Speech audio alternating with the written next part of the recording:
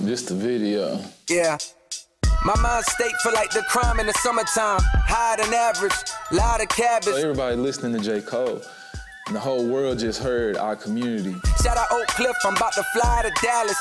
Decade from now, I might just buy the Mavericks. It's the first verse of J. Cole's new song talking about summer crime that's got people at the Oak Cliff Community Center thinking. Don't just talk about our neighborhood, don't just talk about our community, but be here with us. High crime rates, unsolved murders, low income families. You know, we powerful people, we close knit in this neighborhood, but um, it's messed up out here. Every year, For Oak Cliff throws a back to school festival, giving community members access to opportunities that don't come easy. His concert tour date in Dallas is the same day as our fourth annual Back to School Festival. You heard that right. J. Cole will be in Dallas the same day the community he's rapping about is getting together. I don't need to just have a picture with J. Cole. Like, what I would like to do is build a rapport, build a relationship. They're hoping the star will stop by. Bro, you have a voice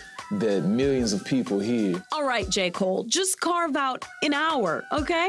And for the rest of y'all, I just want all people right now, since everybody got Oak Cliff in their mouth. Oh, I'm so Oak Cliff. I'm from Oak Cliff. We, where you been?